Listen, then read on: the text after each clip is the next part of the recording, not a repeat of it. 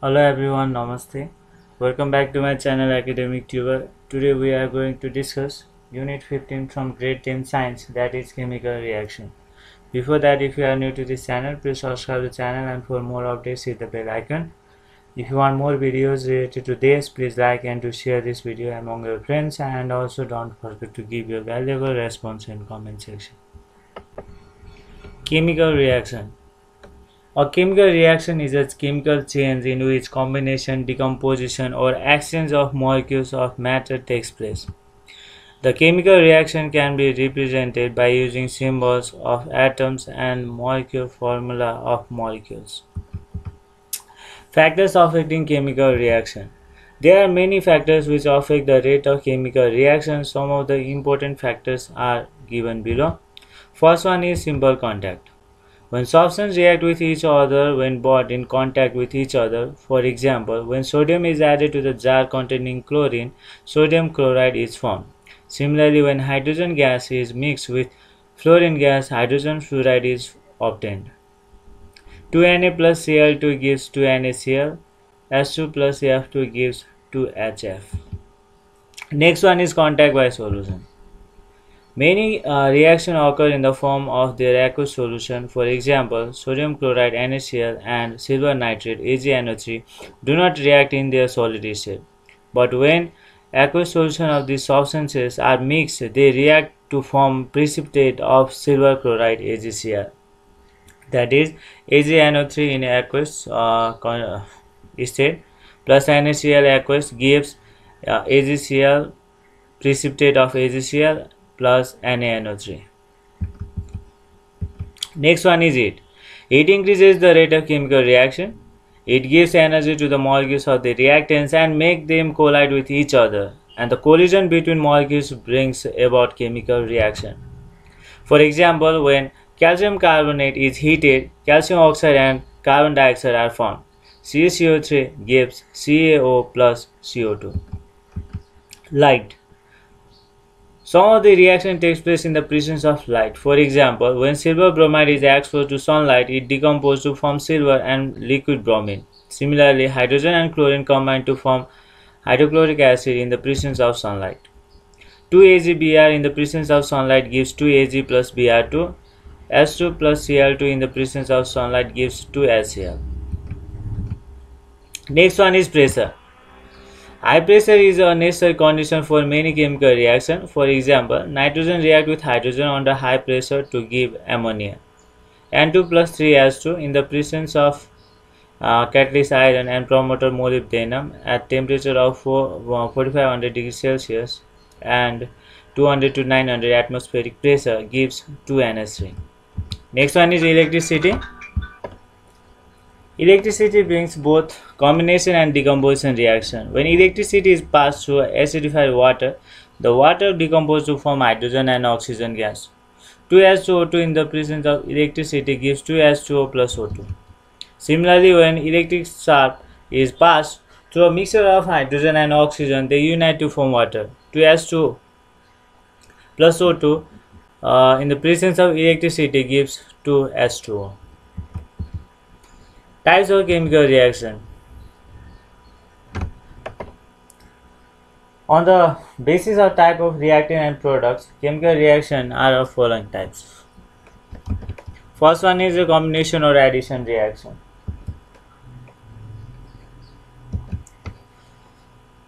Uh, addition and combination reaction it is also known as the synthesis reaction the chemical reaction in which two or more substances combine to form a new substance is called the combination reaction. Or we can say the chemical reaction in which two or more reactants combine to form only one product. For example, S2 plus O2 gives CH2, 2Na plus Cl2 gives 2NaCl, Fe plus Es gives FES. Next one is decomposition or dissociation reaction.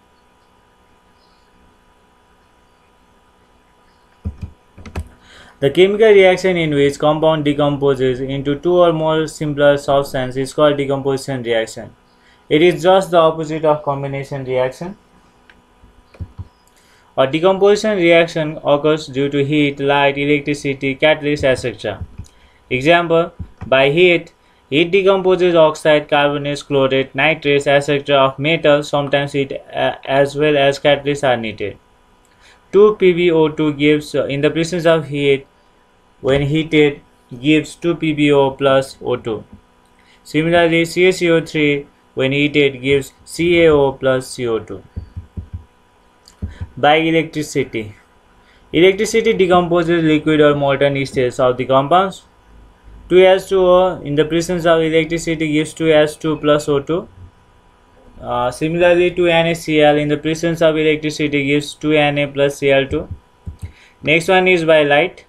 Silver bromide is decomposed to silver and bromine by light. 2AgBr in the presence of light gives 2Ag plus Br2. This reaction is useful in photography. Similarly by catalyst Manganese dioxide acts as a positive catalyst in the decomposition of hydrogen peroxide.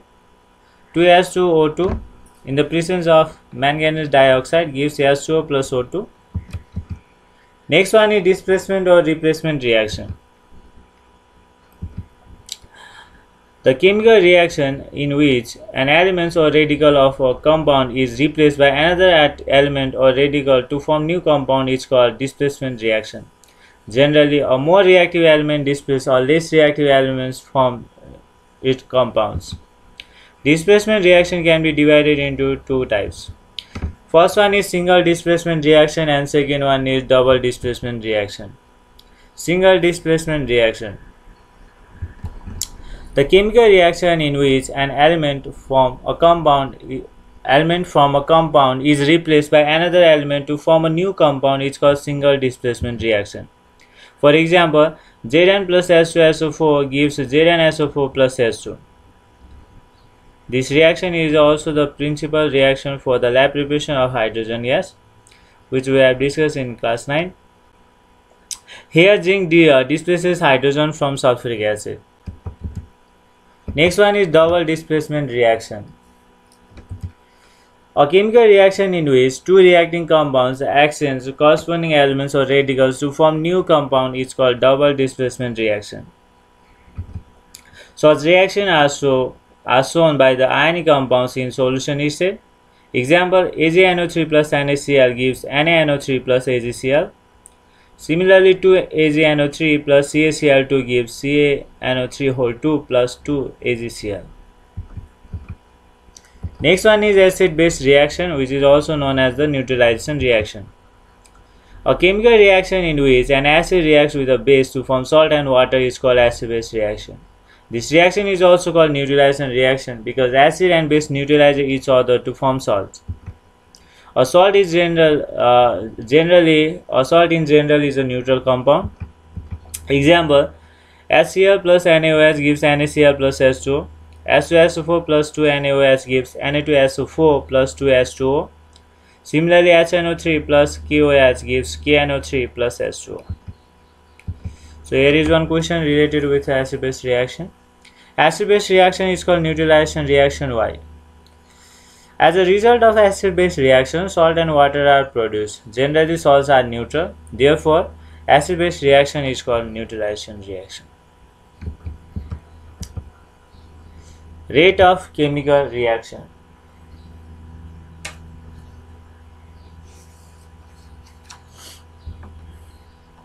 The decrease in the concentration of reactants or the increase in the concentration of products per unit time is called the rate of chemical reaction or simply uh, reaction rate.